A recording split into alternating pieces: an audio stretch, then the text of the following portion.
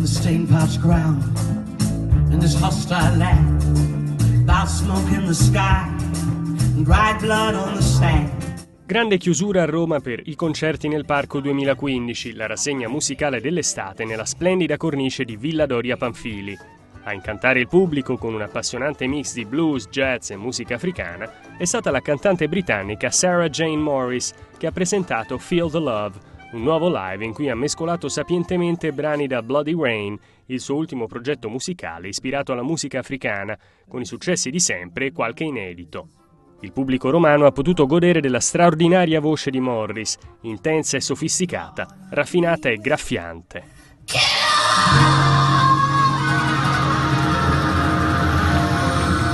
Bloody Rain la cantante inglese ha riunito musicisti africani, europei, sudamericani e anglo-caraibici per dar vita a una collezione di musica moderna di ispirazioni africane incredibilmente variegata e ballabile. A colpire e coinvolgere gli spettatori non sono soltanto i ritmi contagiosi di queste canzoni, ma anche i testi, che spesso riguardano argomenti duri come la terribile vita dei bambini soldato, i matrimoni forzati, la guerra o il rapimento di centinaia di ragazze nigeriane da parte degli estremisti islamici. Well, I went to the rhythm and the rhythm was dry. I fell to my knees and I looked to the sky.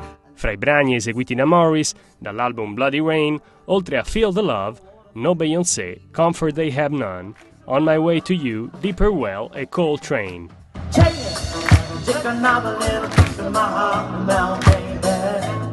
Verso la fine del concerto Morris ha trascinato il pubblico a partecipare, cantando il ritornello di I Shall Be Released, scritta da Bob Dylan e resa famosa da The Band nel 1968, un testo poetico sulla prigionia e la liberazione del corpo e dello spirito.